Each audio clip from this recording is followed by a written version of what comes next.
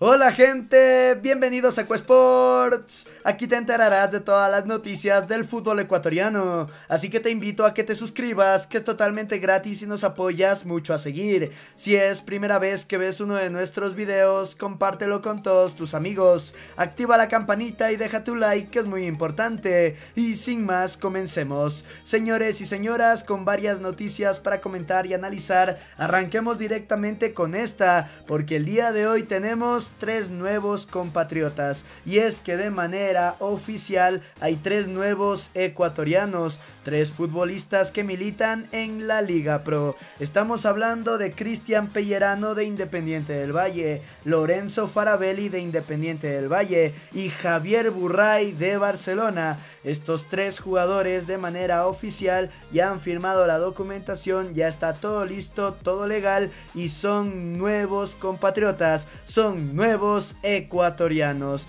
Sin lugar a duda, el nombre que más ha llamado la atención o del que más se ha hablado es el de Javier Burray. El arquero de Barcelona ha mostrado un gran nivel a lo largo de estos últimos años y ya cumple con todas las condiciones para poder ser convocado. Con esto la gente se hace la pregunta, ¿Javier Burray debe estar en la convocatoria para la siguiente doble fecha de eliminatorias? ¿Félix Sánchez debe convocar a Javier Burray? Te hago esta pregunta a ti. Acá abajo en los comentarios te estaremos leyendo. Javier Burray debe ser convocado a la selección ecuatoriana de fútbol. Si tu respuesta es sí, por encima de quién, Moisés Ramírez, Alexander Domínguez o Hernán Galíndez, que son los actuales arqueros de la selección, ¿a quién sacarías por poner a Javier Burray? Y si tu respuesta es no, porque acá abajo en los comentarios abrimos debate, pero lo que sí es confirmado es que tanto Burray como Farabelli y Pellerano son ecuatorianos. Tenemos una noticia cuanto menos interesante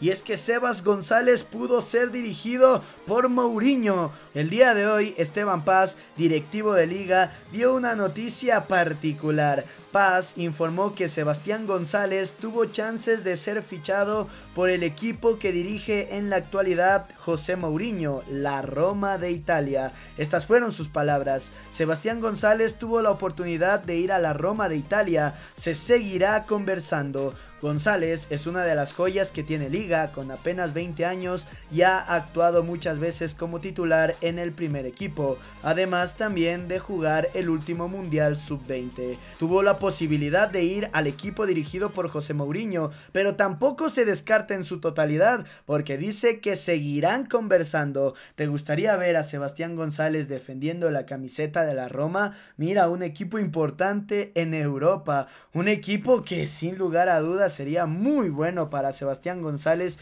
y más que nada dirigido por quién, ¿no? Un entrenador que no necesita presentación, José Mourinho. A ver qué es lo que pasa, me encantaría ver a Sebas González en Europa porque es un extraordinario jugador y si es en un equipo de la talla de la Roma, pues muchísimo mejor. Les tengo una extraordinaria noticia porque mi gente, Piero Martín Incapié está 100% recuperado. El ecuatoriano ya se encuentra listo para volver a las canchas y defender la camiseta del Bayer Leverkusen. Y para el partido de mañana, porque sí, mañana 13 horas 30 Vaya que habrá un partidazo en la Bundesliga. El Bayern Múnich enfrenta al Bayer Leverkusen. Un duelo de punteros. Un duelo de poder a poder. Y para este compromiso, el Bayer Leverkusen tiene un alta importante. El regreso de Piero Incapié. Ya se encontrará en la lista de convocados. Y podría regresar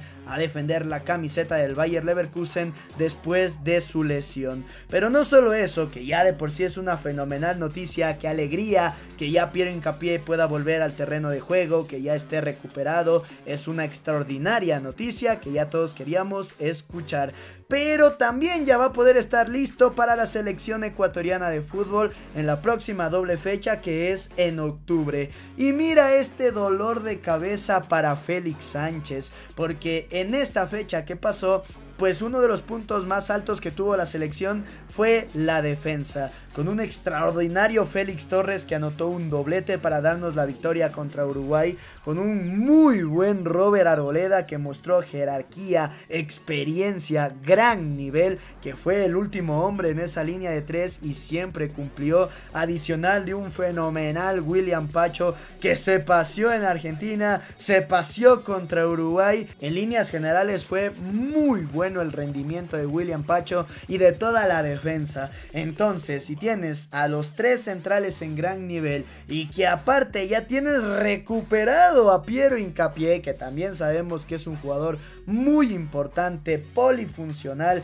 que cuando se pone la camiseta de la selección siempre cumple, pues qué dolor de cabeza, ¿no? Y qué dolor de cabeza para bien, porque tener cuatro centrales de un nivel extraordinario que no saber a quién poner, pero porque todos son grandes jugadores, pues debe ser algo chévere. ¿A quién sentar? ¿A quién colocar como titular? Y aquí también te hago otra pregunta, abrimos otro debate. ¿Piero Incapié debe ser titular o debe esperar su oportunidad en la banca de suplentes? Si es que Piero Incapié es titular, ¿a quién sacarías? ¿Robert Arboleda, William Pacho o Félix Torres?